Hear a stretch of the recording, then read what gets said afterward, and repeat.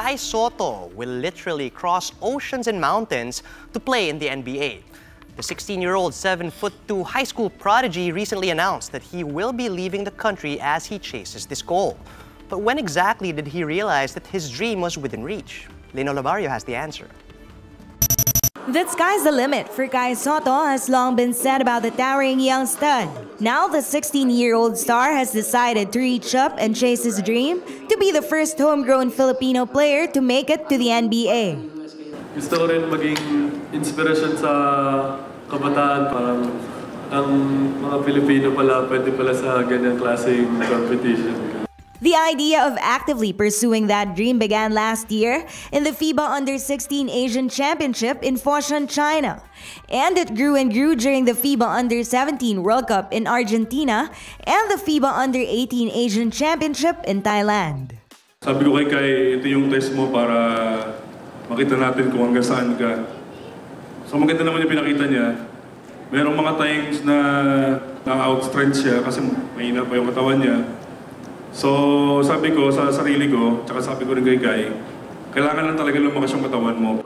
The former PBA player even recalled the time opponents made fun of the lanky Kai in the FIBA Under-16 Asian Championship, only for Kai to begin establishing himself as he lorded over the tournament's efficiency, blocking, and rebounding departments, leading Batangilas to a semi-finals finish and a spot in the FIBA Under-17 World Cup.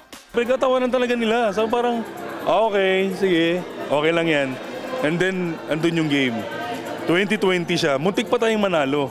After nun, hanggang sa under, under, under 18, pag nakikita nila si Kai, hindi na sila nagtatawanan. Nagkakapapicture pa sa kanya.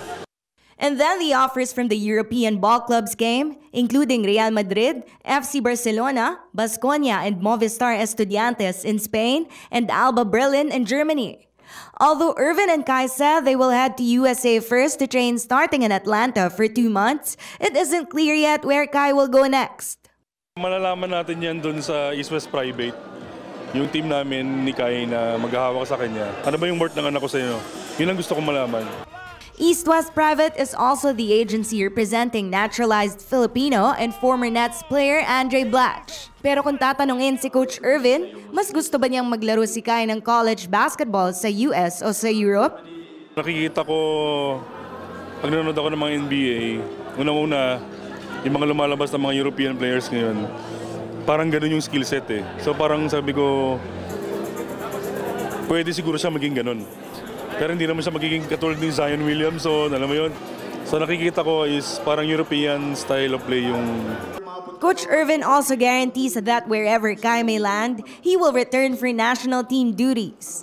Sa kontrata na pi- pinirmahan namin ni Guy, o pipirmahan namin sa anumang club o sa US, number one priority namin yung Gilas.